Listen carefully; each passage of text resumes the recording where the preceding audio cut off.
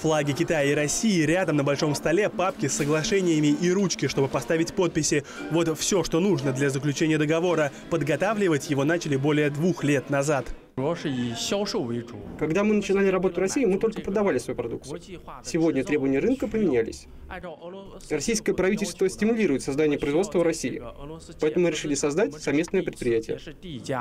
Создание предприятия – знаковое событие для нашего района. Речь идет о примерно пяти сотнях новых рабочих мест и десятках миллионов рублей налогов.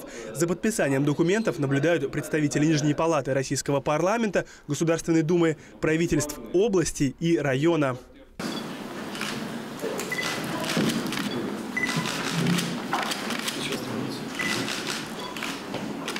Подписи поставлены, производство создано. Оно разместится на мощностях предприятия «Газ-девайс». Первые станки там соберут уже в этом году. Оборудование многофункциональное, может производить самые разнообразные детали.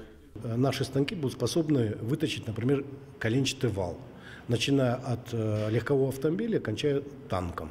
Это первое. Второе. Э, в нашей производственной линейке будет целый ряд моделей, уникальных на сегодняшний день не только для уровня российского машиностроения, но общемирового. Уникальное оборудование подходит и для выполнения оборонного заказа. Этим, в частности, объясняется уверенность инвесторов в стабильных продажах продукции нового завода. Россия увеличивает оборонные расходы, невзирая на экономический кризис. Поставлять оборудование будут и в соседние страны. Россия – это в первую очередь вся наша промышленность, которая требуется э, все эти станки. Но мы не ограничиваемся только российским рынком. Это рынок все-таки СНГ, Казахстан, Белоруссия, которые тоже имеют потребность в современных станках ЧПУ и обрабатывающих центрах.